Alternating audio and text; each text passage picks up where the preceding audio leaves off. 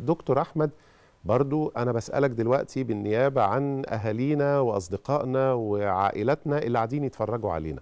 وبيقولوا طيب هو زمان كانت الناس بتاكل آه، سمنة بلدي وكانوا مش عارف بيفطروا بكام بيضة وكانوا بياكلوا إزاي وكانوا بيعملوا إيه ولا كان في بقى رياضة ولا كان في حاجة وكانوا صحتهم أحسن مننا. الجملة دي بتتقال يعني إن لم يكن في كل البيوت في المنطقة العربية يعني أنا بعتقد في العالم كمان كله.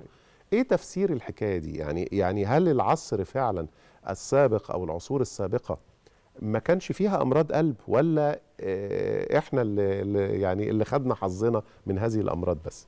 لا هو الحقيقة يعني آه، الخير موجود في كل العصور يعني إن شاء الله أيوة، الخير فيا إن وفي. أمتي إلى يوم الدين. طبعا.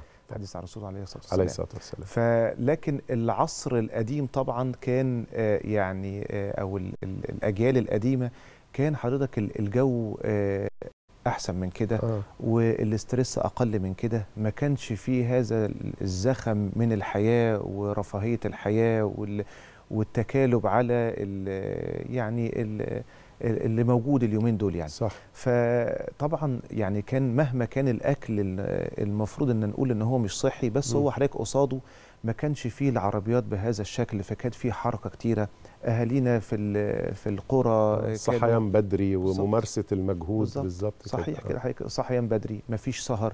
آه، حياة صحية طول اليوم حركة وحرق يعني. حضرتك اللي يعني اللي كانوا آه، بياكلوه نقول المفروض يزيدوا في الوزن 3 4 أضعاف لكن آه. ما شاء الله كانت أجسامهم كويسة فبالتالي كل العوامل دي الصحية القديمة اللي موجودة عندهم ما بقتش موجودة دلوقتي حضرتك دلوقتي زي ما بتشوف الشباب الصغيرين مجرد ما بيطلع الرخصة بيروح عايز عربية على طول صح أو آه، ركوب المواصلات أو أو أو. عشان كده دايما بقعد أنصح الناس يعني لو ما عندكش الوقت الكافي للمشي اركن عربيتك بعيد عن المكان اللي أنت رايح له مثلا 10 دقائق ربع ساعة وتمشاها.